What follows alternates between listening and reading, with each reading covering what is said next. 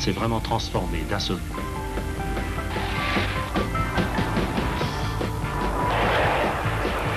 Voilà ce que l'aviation avait fait. Voilà ce qu'elle était devenue. Où elle était. Kuda ide? Le vol vertical. Vertikalan let, osloboditi se pista skupih aerodroma.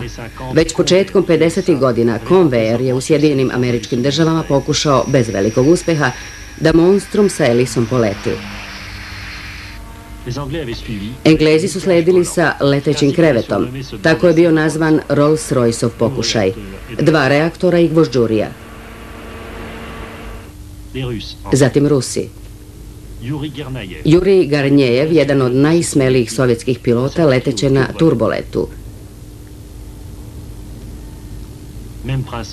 Isti princip. Turboreaktor dirigovan sa zemlje.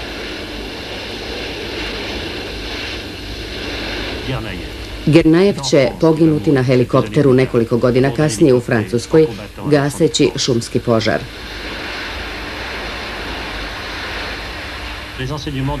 Pouke koje su izvukli iz turboleta postaći će Ruse da konstruišu jedan lovac sa vertikalnim uzletanjem.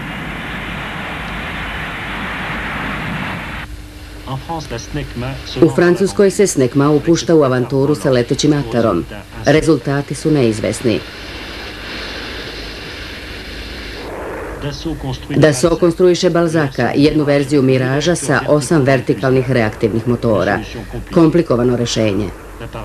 Aparat neće daleko otići. Englezi sa svoje strane nastavljaju sa Hawker Harrijeom, čiji su početci teški.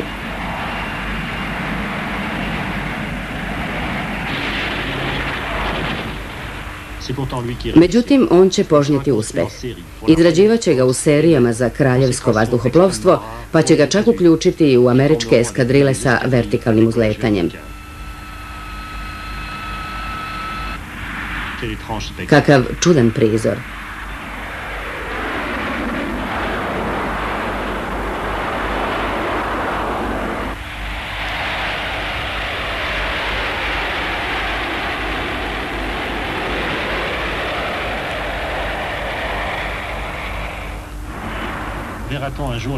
Da li ćemo jednog dana vidjeti avione kako uzleću u centru grada kao ovaj Harije u Njujorku? Prvo će morati da se reši problem zvuka, a to neće biti skoro. Za sve ovo vreme mnogo se mislilo na leteća krila. Prava ideja naučne fantastike. U Sjedinjenim američkim državama od 1950. John Northrop je konstruisao svoj B-49 bombarder sa osam reaktivnih motora. Kada vidimo njegove probne filmove, ovo krilo od 60 metara težine 100 tona, pred nama je svedočanstvo izvanrednog istraživanja.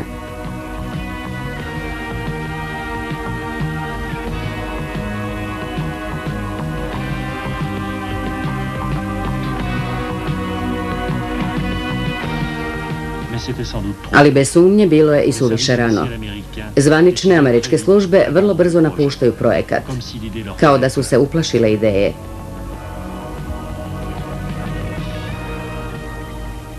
To je strašan udarac za velikog inženjera i konstruktora kakav je bio John Northrop. Dobili smo neuobičajenu naredbu. Trebalo je uništiti sve prototipove. Morali smo ih iseći na komade i prodati u staro gvožđe. Nije li to najveća žalost u vašem životu? Odgovor je da. To je najveća žalost mog života.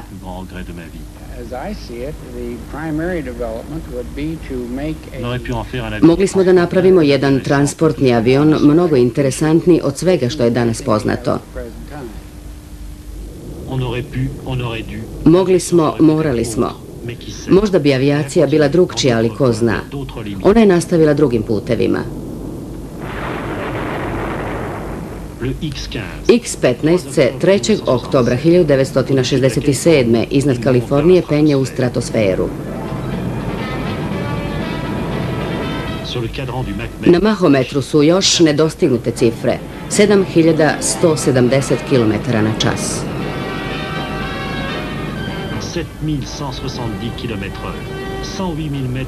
108.000 metara visine. Avijacija je dostigla Vasionu. Maj 1976. Vazduhoplovna baza u Sovjetskom savezu. Većina aviona nosi oznaku Antonov. Veliki avioni za transport trupa i materijala. Tu je jedan od najvećih aviona sveta, Antej, 230 tona.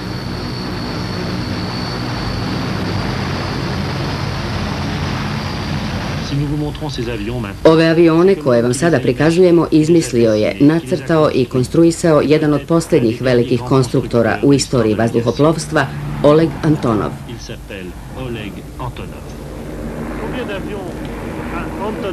Koliko aviona tipa Antonov leti u svetu? Otprilike 14.000. To je izuzetno. Gordi ste i srećni. Da, srećan sam. Gord još ne, još treba raditi. Ovo je vaše posljednje novorođenče, zar ne? Da, to je AN-28. To je jedan mali avion ADAC. To će reći avion sa kratkim uzletanjem i sletanjem. Da, to je korisno.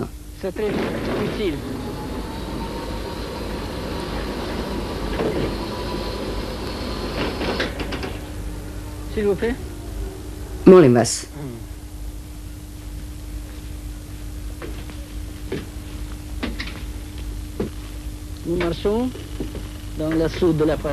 Mi smo u hangaru, evo pilotske kabine.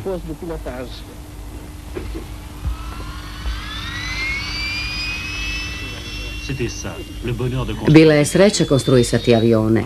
Doći do ideje o mašini i jednog dana prvi put ući u nju. To je bilo i više nije. Više se to ne događa. Šteta je što više nema velikih konstruktora. Dobro se sećamo Luja Blerioa, Farmana, Luja Bregea, Douglasa i tako dalje. Sada postoje međunarodne firme, ne znamo ko konstruiše avione.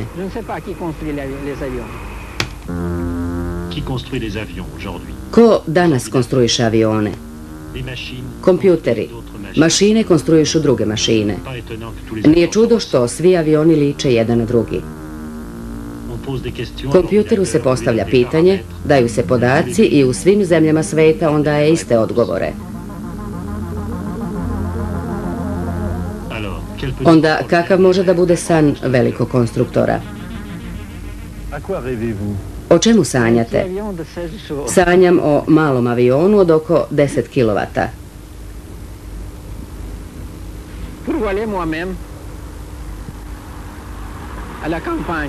Da sam letim u prirodu.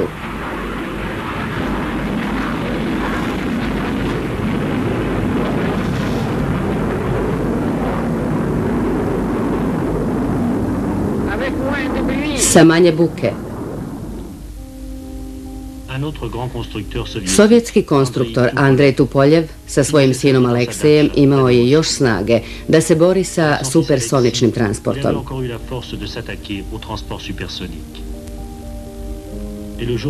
I na novu godinu 1969. prisustvovao je prvom letu Tupoljeva 144. On koji je radio sa Žukovskim na početku veka doživeo je presmrti da ovo vidi. Danas iz Pariza i Londona svakog dana poleću Concordi. 70 godina posle onog jutra u decembru 1903. kada je Wright uzletao prvi put. Koliki pređen put. Od krhke drvene i platnene mašine teške 200 kg, koja se jedva držala u vazduhu, do ovog giganta od 180 tona koji leti 2300 km na čas. Kakva divna istorija. A daleko od toga da je pri kraju. I to je čini još uzbudljivijom u našim očima. Kroz tri generacije smo mogli da vidimo kako se menjaju oblici sve usavršeniji i lepši. Brzina se povećavala desetinu, stotinu puta. U komforu i tišini ovih supersoničnih parobroda možemo da sanjamo o tome šta će avijacija biti sutra. Neće nas razočarati. Uvek ćemo pred njom biti zadivljeni. Tekst prevela Mirjana Mitić. Čitala Dejana Vukotić.